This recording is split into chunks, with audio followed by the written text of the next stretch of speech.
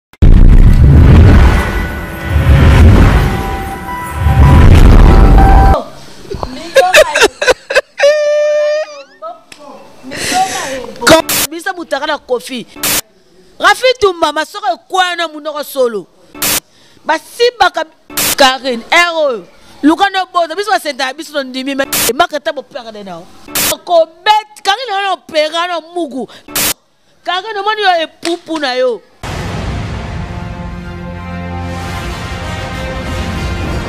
Chers internautes, bienvenue sur notre chaîne Patrick Madika officielle télévision grande émotion pour moi de savoir que vous êtes nombreux à nous suivre, mais je ne cesse jamais de vous dire euh, abonnez-vous sur euh, notre chaîne, votre chaîne. Là, c'est bel et bien moi, Angélica Tchala, l'élévateur euh, de la presse, la fille de sa maman Anna Chituka la cadette euh, de ses grands frères, la cadette aussi de ses petites sœurs, la maman de d'avance, aussi, je ne cesse jamais de vous dire, abonnez-vous massivement sur notre chaîne. N'hésitez pas, n'oubliez pas aussi de partager, de liker, comme ça a toujours été. Pour aller tout droit au but, euh, aujourd'hui, je reçois pour vous Mamou Moulouba. Bonjour Mamou Moulouba. Bonjour, moi ça peut même moi ça t'a zanga défaut hein. Euh, Angelica babi ya ye nde makambo oyo bosabone kaka masima ba biso bamamulu bato yaka tolobaka kaka awa vraiment mamulu bapesi merci ya ma patronne badeka chèque 5 étoile mwasa mokuse na bordeaux et pourquoi pas balobi ye moko obebisa lukabu ya mwana kombo ya pape mwasa pembe ti na ti merve naza awa Bonsoir nga mamulu ba tokos na bino eh voilà. Mamulu ba heureuse ya oyamba lelo na plateau na biso tokuti yo pena en plein piscine bigini oza pembeni ya piscine mais toyoka ma musalite ma boye mais tomoni pena nzoto ça va. Eh ba faire ça été.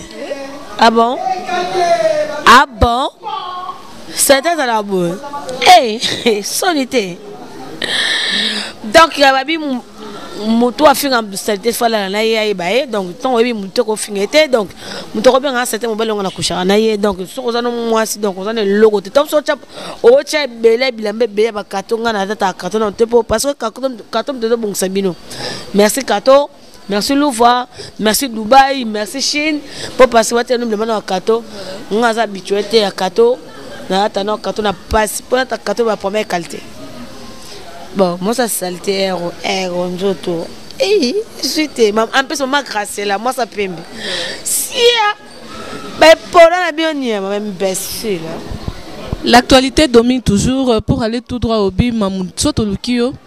eza par rapport à actualité ndenge makambo yango ezotambola na internet komona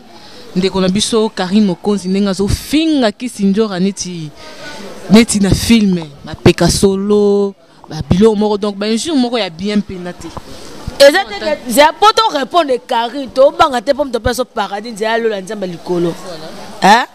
mpo to répondre karine eza te ke to apesa biso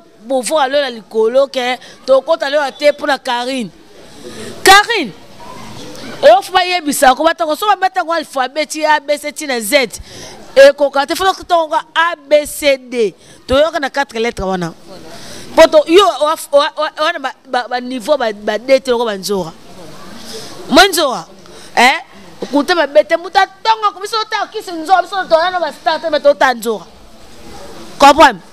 kari mokondi yo ofinga bato ebele otelaka niveau yo mate te bamama bato na bana bango na nde abete kari mokondi lipeka solo fingi ya kisi nzo okosi lobaka ya kisi noko osakaki na desa ya bwa tokondima ero ero nzora tongo succès eh, kofi olomide fali pupa e eh, pardon kofi JB Fally après nzoka su Kofi héritier Karine mama so ba edika to ba prendre éducation bete pa mama bi mama Charlotte limbisa nga eh toi eh Gazelle Ata nani Gazelle to sokola eh oyo te Wa mukinza pompo Eh, nzoka ba nzoka na fana ko niveau ko taxe na kare kare na banda bete ko sata ako sata émission na français tina suka en ça te so kisi nzoka yo frère pour solo ah ya na bete yo yo zali na lipeka kisi nzoka yo ka solo kisi nzoka pe en plus na ko pesa kanda otanga koma mobala nzoka na TV mobala nzoka obeko to pasongo pardon toye na posa ka karine eh? kofi yango omoyaki likala koki na yo kofi yango ayisa na mbelo bisa mutaka na kofi apesi yoka fi ntumba to na poso bamama kofi te moto ape na ntina na bino bamama kofi te vie prouve na yo te bien prouve na yo te bien prouve ya mama aliya bazongi susu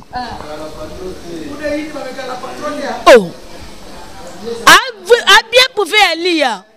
rafitumba masoko ekwaya na munoko solo eh, basi okende poto balela tro na batinda na bandal mamu bo baza nani bawa nani baka biloko te karine luka nanu ndoko fika kisi nzoka eh? Oui, biso famille ya nzoka oui tondima seta biso to moyo karine so atelemi awa rafine atelemi awa olobaka mabe papa na ngai asala mabe na beta bango mpo bayebi na beta bango mabe ngai alobaka na mpe nasaka art mpe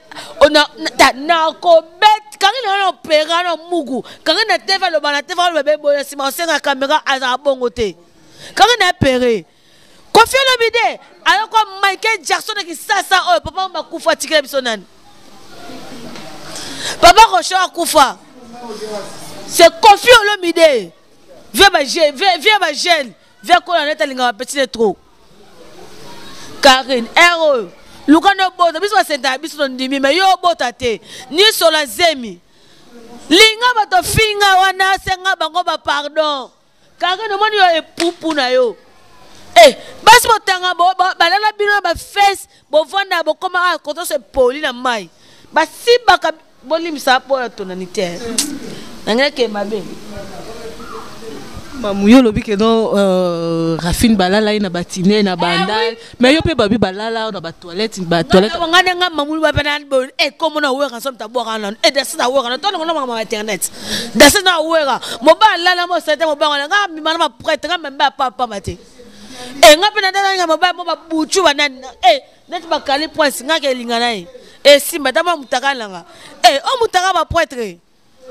mtawa pwete kameramene biso aza na yebi e nanga mobali moko ngai nde ezala a bana bana miziki papa mwana azosala nde 11 ans boti mwana ma toboyana nazwi mobali yango avandisa nga eh, bango nde balalaka bango batoilette ya bakenda baconcert ya bamusicien baza esika osubela bango basubeli bango na baconcert babalela bango ndeti nga na mwasi nde napesa nde na respect valele mpo mobali so abie boyo olinga abala nga eh, apres nake dalala kofi ebembe kofi olemle bozwa ye neti nani evi eh, nanga artiste yako eh, boso doski yeka tovandi mpe yako babika boski yeka alali mamuluba na yo pibo ya tefe na liboma na liboma lei baobalanga babokilo baye susu balinganga fo mwa kati bana di kake di obai kake naza boya misa mabe yo si bakako bandoki ba façon tout yo naza bo fo senga mapata no pardon makasi yo finga bana wera yo karine karine obenga ezoso na gladi ba afa sheka wera so finga mwa madesu karine madesu wana oyo finga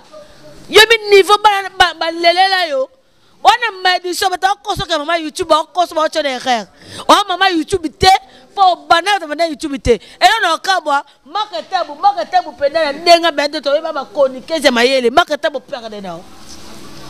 maka tabu perde maka tabu akota buzoba ya karine karine erol kwa fala limso fala alimso te nana benga fani patati fani te yo topesa fali kombo wana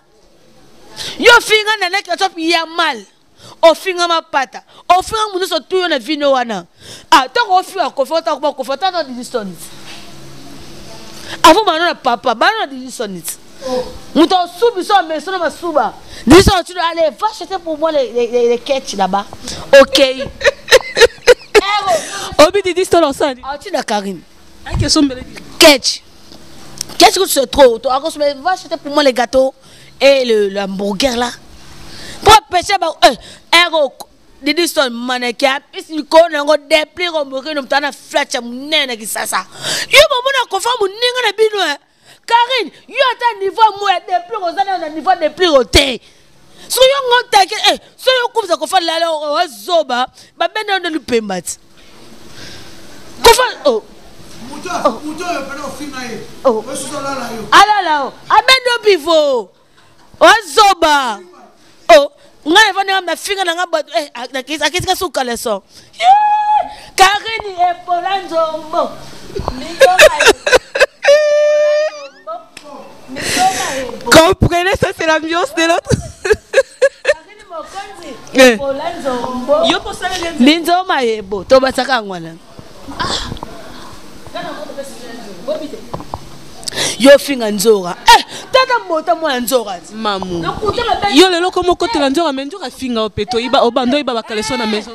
eza mpo miteyo ya na nga papa na nga na linga ye a 100 ngai nasenga kisi nzoka pardon tatinda nga te nga mwa bike a ah, mwana ya na ngai nazali mpe mabe te eh, ata yibaka so maison maison omama lokuta ata eza omama verité te mais karine mokonzi ogafa trop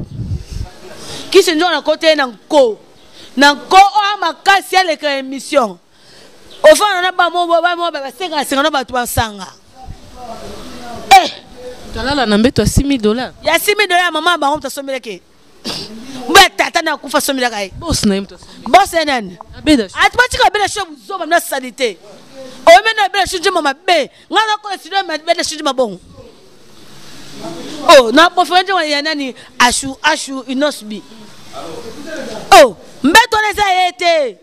kanga na ndako maloko te na na poto kanga na ah, ma ndako bien poto boni bo kiti ofone ofone otie matami na masoko na mitasomi na kofi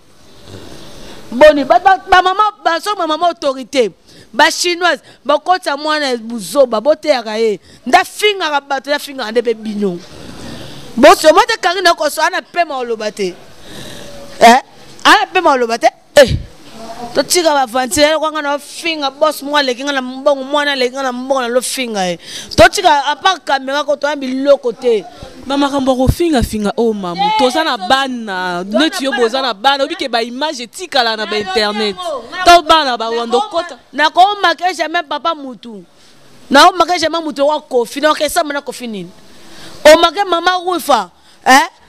eh? eh oh, oh, okosi nde makambo abotaka soki yo karine siko ei eh, liboma chers internautes là c'était pour faire euh, Esther pour tout le monde makambo lukelenga donc makambo yango yango oyo nga nayeki nanga makambo kofinga te nayeki kosala émission bibaki tomoni loko mama alobaki na ye te fali mpo bakolembisaka yo karine te ndenge boko yo nde fandi boye ko zwa masasamba na yo wana ya poto kende ya mawa eh. moto atindi ope kitie watandambi mpo na ndenge oh, abi akenda poto na effort na ye moko eh, moto atoboli anje ya fese mamu naolala mposa na yo pardon tokola etika 2 minutes oyoki osokola na momoni kena molungi eza vraiment makasi pesa mot de la fin mot de la fin tokabwana voilà. na matete aso ovandi nini Eh, nima te te te awa ah, nani eh. le eh, roach apa ah, bosi doski yeka nde papa de disque moto abanda ntongo babaka grand prêtre ebemba kare nyonso wana na prêtre nyonso wana na prêtre ya bozwaka nano image ya bien boye ko eloko vi abaise nga asali kaka bwati te mpo chaque jour nga alemba nga nga na moto ambiance nga mnalala poki te nga na afia butu merci ondimi yango yo opesa mot de la fin mode ya fe eza te karine mokondi tika koma kofi so kofana yoko oyaki na brother te oyaki na tati wata dédicace na nga bayeso balinga mamuluba bisu baye merci ya beki bos igole wane na foret mon papa afutana mamuluba fille de disque mutabwaka ngai ozwa pi karine epola nzombo binzoma yebo Merci beaucoup. C'est par ici que nous mettons un point final euh, dans notre sur euh, notre mission d'aujourd'hui. Mais avant de clôturer, je ne cesse aussi jamais de vous le dire, de vous signaler encore de vous faire toujours un petit rappel comme ça a toujours été. Allez-y là-bas, vous abonner massivement sur euh, Patrick Madika, beaucoup retrouvé retrouver fille des disques, actualité domine toujours beaucoup retrouver Nga Angelica, Naba casquette Nanga et comme ça toujours été. Euh, là je dis merci à ma maman chérie Anna Chituka, Anne Blanche. Là c'est je parle de ma maman, je parle aussi